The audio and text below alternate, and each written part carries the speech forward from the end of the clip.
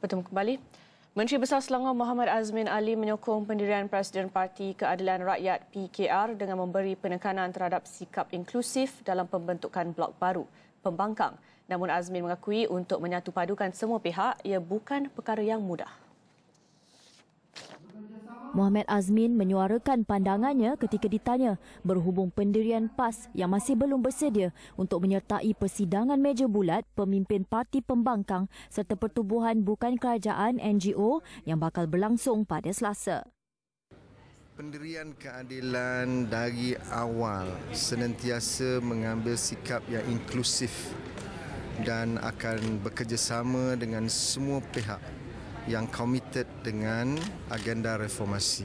Saya mengakui untuk uruskan muafakat bukan satu perkara yang mudah.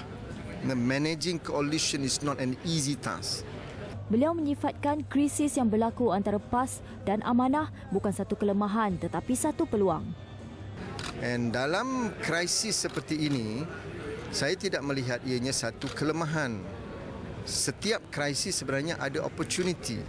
Merupakan satu peluang untuk kita melakukan muhasabah dan melihat bagaimana kita boleh memperbaiki keadaan. Jadi kita lihat secara positif lah. Ujar Azmin adalah menjadi tanggungjawab semua pihak untuk membantu konflik yang sedang berlaku di antara kedua-dua parti sekiranya mahu keadilan dan kebenaran.